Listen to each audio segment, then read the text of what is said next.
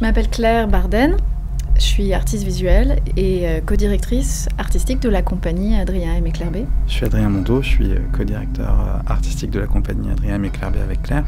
C'est une compagnie de création en art vivant et visuel. Cette compagnie, elle, traverse différentes disciplines en mettant toujours l'humain au cœur des projets et en se dotant des outils d'aujourd'hui. Après, on n'est pas du tout que tous les deux. La compagnie Adrien Méclerbet, c'est une trentaine de personnes différentes avec un noyau dur de une dizaine de personnes. Un des axes de recherche de notre travail, c'est toujours de mettre en relation l'espace de l'image et de l'imaginaire avec l'espace de la matière, du corps et de la réalité tangible. Donc on cherche toujours à créer comme ça voilà, des dialogues, des coïncidences entre ces deux espaces-là.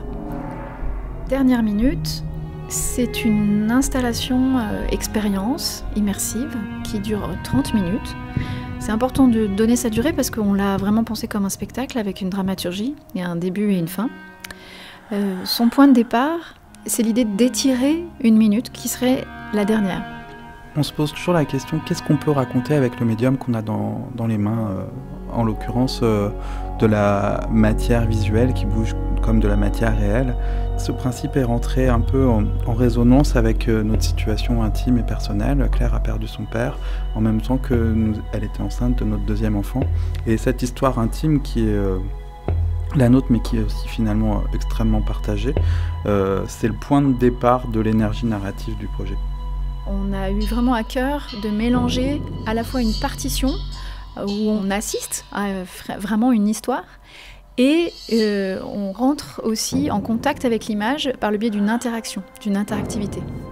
L'interactivité dans le projet, elle est pensée comme une invitation au spectateur, pas comme étant le moteur de la narration. Une interaction douce, une interaction subtile qui permet juste de sentir qu'on fait partie d'un écosystème et que cet écosystème, en fait, il, bouge avec nous.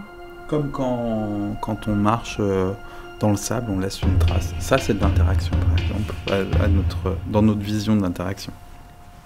On a éprouvé avec Adrien le besoin de fabriquer, construire des moments de rituel au sens euh, de vécu symbolique collectif.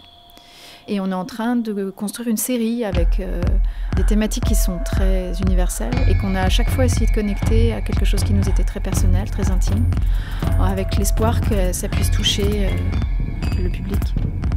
On espère que le fait de, bouger ensemble et de traverser ensemble cette expérience euh, symbolique participe à créer du lien et se place, je l'espère en tout cas, un peu dans la catégorie des antidotes.